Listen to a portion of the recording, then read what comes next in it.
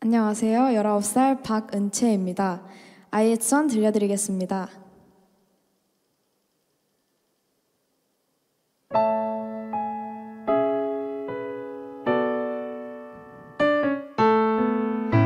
하루 종일 해 떠있네 너도 나도 다 신이 난듯 내 기분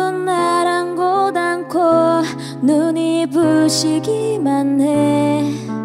그래서 싫었선 이맘 되면 해가 기네 유난히 밝아 창문 틈새를 가득 채워.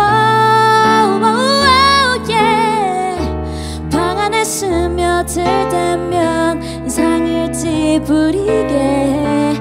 내 마음도 그렇게 비춰질 것 같아서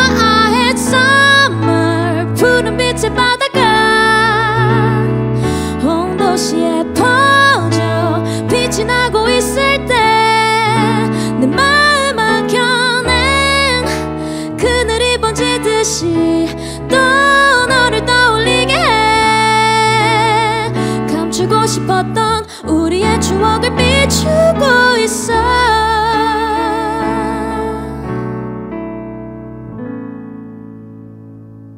감사합니다.